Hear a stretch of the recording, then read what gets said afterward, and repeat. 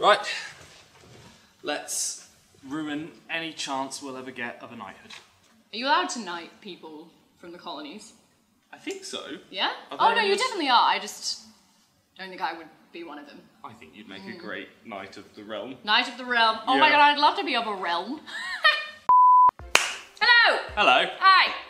Hello. Hi. Welcome to a Thred talk. I'm Imogen, I'm Elliot. and today, what are we talking about? Today we're talking about the monarchy. The English monarchy, Mm. as there are numerous, but this is English, because we're in England, aren't we? Right now. We're in We London. are Yeah. lovely, rainy London. I know, it's horrible. I mean, London in general is not horrible. I love London, but God, the weather's sh- Why are we talking about this right now, Elliot? We're talking about this right now because it's all over the newspapers. Harry and Meghan stepping down from being senior royals. Okay, so what does that mean, being a senior royal? A senior royal is a royal who is in the direct line of succession. So you've got the Queen, you've got her husband Yep. Philip, uh, their eldest son Charles, and then his children. And so uh, all of her other kids, like Andrew and like Princess Beatrice and all- everything, they're not senior royals. No. So they have regular jobs, don't they? I think so, yeah. Yeah, yeah, okay, right. Are you a, are you a royalist? You know, Am I am I a royalist? I- A monarchist? a Um, monarchist, uh, a fan. Well, so growing up in Australia, that has meant something quite different to me than it does to people in the UK. It, it's far less part of our national identity being connected to the royal family. And to be honest, becoming a republic and drawing away from all those things generally is considered more of a hassle than it's worth. I mean, having to change all of our currency, Yeah. it's just a little bit of a. You know, Australians are quite lazy. And also, with the Commonwealth Games, I mean, we're too small to really do well in the Olympics, but at the Commonwealth Games, we clean up. So a lot of people would be quite unwilling to to give that up. People in Australia do get quite into it. Like when Yeah. I remember I was in Australia when um, William and Kate got married, and people people were into it, man. Oh, well, Yeah, any excuse for a party. How about you, Elliot? Are you a are you a queen man? Are you a queen? Are you a big Am old a queens queen? man? Are you a queensman? I do love the Queen. I, I love the bands. I love the music. Um, Elliot. Hello. Are you a monarchist? yes. yeah, I am actually. I, I really enjoy the monarchy from like a historical standpoint, um, and I like that that history is ongoing and it's it's still going. It still exists. Um, Okay. All right. it's living history. They are living history. Yeah, that's kind of nice, actually. Yeah, I buy that. You hear a lot of complaints about the royal family saying that you know our taxes go towards funding their luxurious lifestyle. And uh, sorry, they like they are luxurious. I mean, They do live- houses like a luxurious lifestyle. Do you know how they make their money? um taxes. Taxes, kind of. Going back way in time, pre 1760, the royal family made their money from their land. You know, Ah. they were landholders. Okay. They made money from their land. But then came along silly old King George III, uh, King. George the Mad, who famously uh, lost the American colonies, Mm-hmm. and he he was very heavily in debt. I feel like I'm telling a bedtime story. Once upon a time, there was a king named George, and He was he very sad he was very sad because he had so many debts. and mental illnesses. He did actually, yeah, including one That's that not funny, actually. one that turned his um poo purple. I have heard that. Yeah. know, yeah. We don't know what it's called now, but we'll put it up on the screen. Yeah, and he came up with quite a clever idea. Okay. In order to get all his debts erased, um, he made a deal with Parliament where Okay. they would receive all the profits from his land. So all the profits from the Crown Estate. Crown Estate. The Crown Estate would go straight to the House of Commons in return for all his debts being erased and him receiving a annual salary. Right. much. Him and his successors, or Yeah, well, he took that deal, and then every monarch afterwards sort of took up the deal as well. right. Okay. So they were, it was like a symbolic yeah, and this was Right. called the civil list, so they received a civil, civil list. list. Yeah, that's sort of how it went up until uh, 2012. Actually, they reviewed it in 2011, and it was decided that in to make it sort of a bit more direct, Mm-hmm. they would take all the profits from the Crown Estate, and the monarchy would receive 15% of that. Is that, is that the only money they get from the government? Yeah, Right.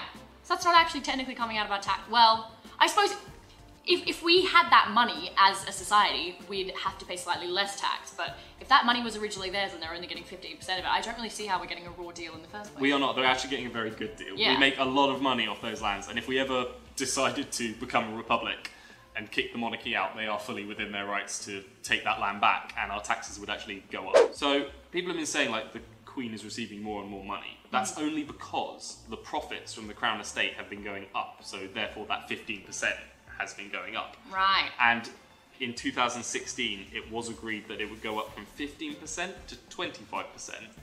so that they could renovate Buckingham Palace. And but the, that extra percentage, all that money goes straight into renovating Buckingham Palace. And wait, is that now annual? So now every year it's from 25, not 15? I think that's Was that that's- just that one year? no, no, no. That's up until I think 2021, or a certain date where it's been decided that it will go back down to 15% Okay. once the renovations have Yeah, been. 25 completed. seems a bit steep. It does, yeah. It's a well. I mean, it's their money, but it's Yeah, but it hasn't been for years, you know what I mean? Yeah. Like, finders keepers or whatever. and this, of course, isn't taking into account all the money that they bring into this country from tourism. I mean, I think something like two billion pounds. Yeah, I'm not surprised. two billion pounds hmm. every every mug with the queen's face on it every you know there's a reason that tourists come here and visit our castles as opposed to castles in europe is because ours are still used There's actually a queen in there. there's, yeah. a, there's a guard guarding it there's a queen Yeah. you know her, her symbol is yeah, everywhere it's on every post box that's very true. Yeah, And- so that, and yeah, we've had two royal weddings in the last couple of years, and Yeah. my god, people flocked. Flocked. so for people saying that the monarchy is taking our money it is very very much the opposite Yeah, they big, big part of our identity, isn't it? Yeah. Yeah. So the question is then, if Harry and Meghan are stepping down as senior royals, if you look at it as sort of like a job with an income, Mm-hmm. Yeah. they should be receiving less. Yeah, they should definitely be receiving less, Yeah. surely. And they are going to be, aren't they? I think so. Yeah. Yeah. Well, from that, from the um, sovereign grant. Right, but they will still be receiving their sort of money from their parents, right? Like trust fund kids, basically. Yeah. Which, you know, in, in this age of poverty is like morally questionable, but no more so than every other member of the 1%, right? Pretty much. Yeah. Mm, Probably a big part of the reason they are stepping down is because Meghan did just get such a raw deal from the media. I mean, at the end of the day, she thought she was stepping into a similar kind of role that Kate Middleton was stepping into, and she hasn't. She's stepped into a role where she's faced far more harsh criticism and really negative media attention, and everyone's been really focusing on the fact that she's from America and her relationship with her dad, and she's just been completely bollocks, really. Yeah. So, I mean, like, she gave it a red hot go, and you can't really blame her for just being like, you know what, f this. And also from Harry's standpoint as well, this is a role he was born into. Yeah, He didn't that's ask to be a royal. I think he's fully within his rights Yeah. to take a moment now that he's married and Yeah. got a family to think about what he wants. I agree. I mean, I, I think it is a shame that they're not going to be, f- uh, given what we said that the royal family does bring in so much revenue, it is a shame they're not going to be feeding that revenue machine. But in in exchange, I think they should probably, you know, get jobs and stop taking the money. So provided that they do do that, actually start contributing to the economy in other ways, then then I think it's totally justified. I do think, in a way, though, it is a bit of a shame because. Hmm. At the end of the day, someone who is mixed race and from another country coming into the royal family was meant to diversify it and be this like symbol of unity, you know, this symbol of globalization and the royal family opening its doors, and now they're sort of breaking off. It, they've kind of rendered themselves more of a symbol of division. if you know Yeah, I which is very disappointing. Yeah, but I mean, think. also like it's not really her fault. It, it's a shame, but you also can't put that moral burden on just one person. And in fact, the, the moral burden of making them feel like a unified part of the royal family was probably more put on the British public and the media, which which we failed in. I think yeah, we let them down. Yeah. That's really sad. Yeah. we let you down. But I mean, Harry and Meghan, if you're watching this. we're so sorry, guys. we We're love so you. Sorry. Uh, we're sorry. I really liked Suits. I thought your character was great. Um, I haven't seen it, but it's ah, late latter seasons. I might watch it after what Imogen said earlier, though. Because obviously Meghan is an actress, right? So she gonna like go back to acting? How weird would that be? Just seeing the, I the think. princess just waltzing around in her underwear and suits again. You know, it's very strange. Yeah, I think. Sorry. Um, we should we'll Google it when we get back. Um, the the whole idea of the monarchy tends to fall apart a little bit when you get figures such as Prince Andrew and Yeah. the controversy surrounding him recently. And I mean, historically, the monarchy represented divine right. You know, they, they were gods chosen to rule over England. And then, as times moved on, they've, they've become a symbol. But now it's like we're questioning that symbol. yeah, and I mean we're just much closer to them and their lives as people now, aren't we? Ever since uh, Mm. Queen Elizabeth let cameras into her coronation, the royal family, just because of technology, has been so much more accessible to Oh, us yeah. rather than just being some you know concept off on a hill. Um, and I think in a way they probably do work best as a concept. The more we get to know them and the more we get to know their flaws as people, uh, the more you're right. Like they They Yeah. do work less as a symbol. Flawed is a very, very generous term for Prince Andrew. The fact that he's a royal Mm. has nothing to do with like he needs to be treated As a pedophile. as a pedophile. Well, Yep. uh, an alleged pedophile that should be tried and possibly convicted if it, the allegations turn out to be true, which he should be put on trial for. You should know that you're a symbol, and if you don't want to accept that role of symbolism in exchange for, you know, all the riches the monarchy does offer you, then you should abdicate, and you should have that option Yeah. to step down, as Harry and Meghan have done. But he did step down. He still took all the benefits, and instead of being, you know, an upstanding citizen, which is like the least you can do, really, as a royal who is a symbol. How many times have I said symbol? When it comes to questioning whether we should still have a monarchy in this day and age, Mm. I, I still lean towards yes, but I think you know they do need to be they need to be upheld to the same Yeah. standards as everyone else. Yeah, Prince Andrew made the decision not to uphold those values and isn't being treated the same as everyone else. He is being given leniency because he is a member of the royal family, and you can just see that privilege oozing through in his interview Oh, at Newsnight. Like, my God, nice choice you of word there. Oozing. Oozing. There should be royals, but as long as they're not dicks.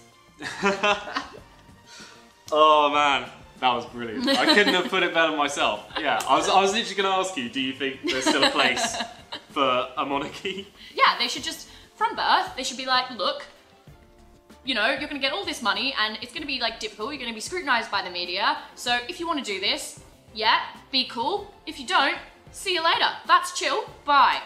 Yeah, I think if we look at it like they've got this money, that's a salary, they have a job to do, they put on dinners, they do public speaking, charity work, all of this. If that's their job, this is what we pay them. That's the system. Do your job. Do your job. Everyone else does. Yeah. And Do you your know, job. Unless you're Harry and Meghan. Which case, fair enough, we're sorry. Yeah.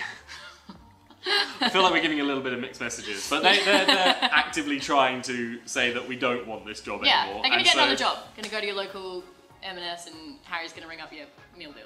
Yeah. Hmm. It's time for lunch.